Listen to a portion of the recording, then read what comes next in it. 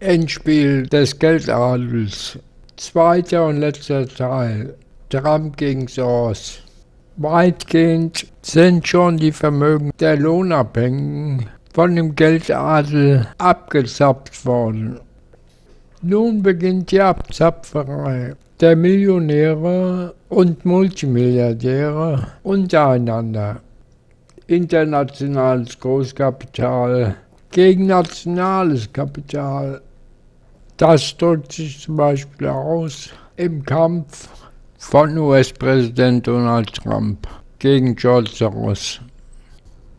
US-Präsident Donald Trump mit seinen Hotels mitsamt der Tea Party verkörpern das nationale Kapital, wogegen George Soros mit seinen internationalen Anlagen das internationale Großkapital vertritt.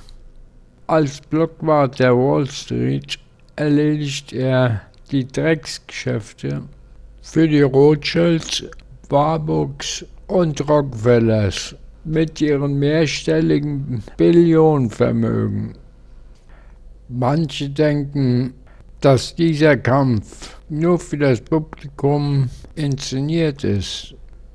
Zum Schluss würden die Rechten von Trump, AfD, Le Pen, Gerd Wilders bis FPÖ auch versagen und Rockefeller würde dann aus seinem Zauberhut die neue Weltordnung hervorzaubern. Nein, nur eine Inszenierung, das denke ich nicht. Dazu ist es viel zu spät und der Kampf von Soros würde nicht so verbissen geführt werden. Er hat immerhin gegen den Wahlsieg von Trump eine Milliarde Dollar gewettet und verloren. Das ist ein echter Kampf. Nach der Wahl finanzierte er 50 Frauengruppen, die gegen Trumps Sexismus demonstrierten. Dieser Kampf wird auch weitergehen. Da die Milliardäre untereinander sich jetzt fetzen, eröffnet das der Arbeiterklasse die Möglichkeit, ihre Forderungen mit weniger Widerstand durchzusetzen. Als erstes hat sich das bei der südamerikanischen Arbeiterklasse gezeigt. In Argentinien und Brasilien hat es der Wall Street nichts gebracht, ihre neoliberalen Politiker dort einzusetzen. Im Gegenteil, seitdem Maurizio Macri und Michel Temer Link 1 dort regieren, Zitat aus der linken Zeitung, statt das fiskale Defizit zu reduzieren, begann Macri die öffentlichen Ausgaben zu erhöhen, um die Unzufriedenheit der Massen über die dreifache Erhöhung der Nebenkosten und Verkehrsmittel, die Massenentlassungen und die Senkung der Pensionen zu lindern. Zitat Ende. Genauso bei Michael Thema. Wieder Zitat aus der linken Zeitung. Link 3.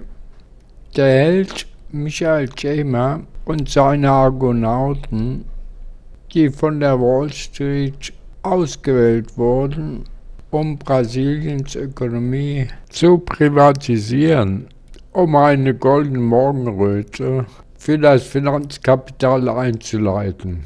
Haben jetzt alle Strafanzeigen, Verhaftungen und lange Gefängnisstrafen zu befürchten wegen Geldwäsche, Bestechung, Betrug, Steuerhinterziehung und Korruption.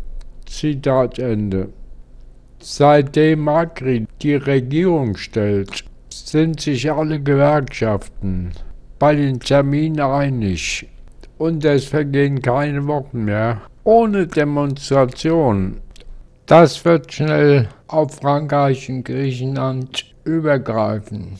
Wenn die Bevölkerung merkt, dass die Bourgeoisie über ihr Verhalten zu Trump gespalten ist, wird es keine Haltung mehr geben.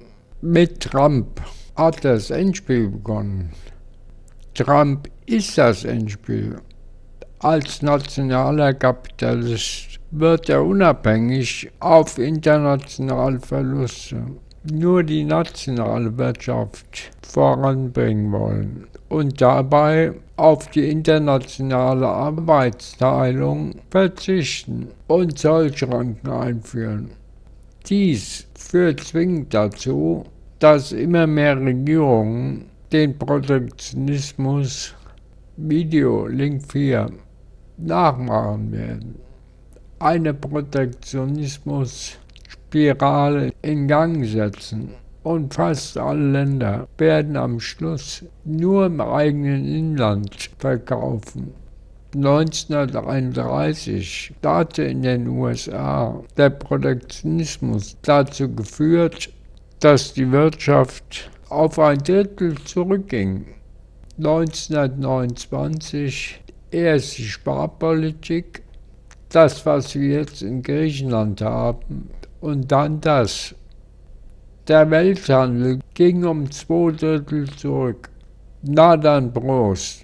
Trump will 30% Einfuhrzölle auf die Autos erheben.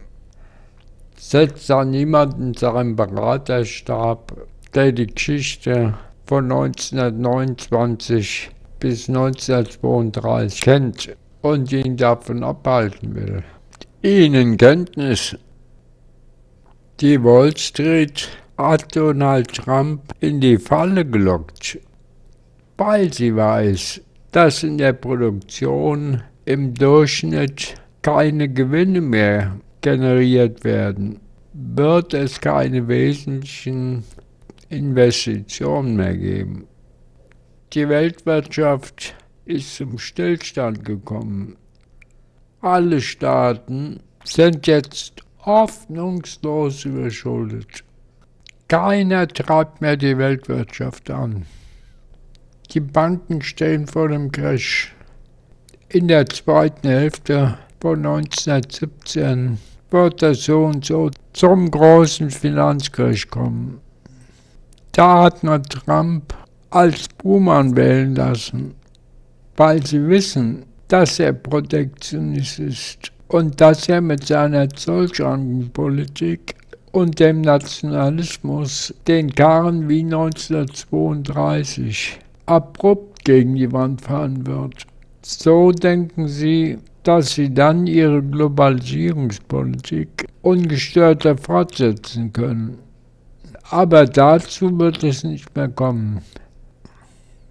Der Crash wird sowieso kommen. Und dann wird die Selbstverwaltungsbewegung hundertfach weitergehen. Die unabhängigen Marktbeobachter rechneten sowieso damit, dass in naher Zukunft der gigantische Supercrash kommen wird. Titelzitat Egon von Greyerz Der Weltschock nähert sich rasant.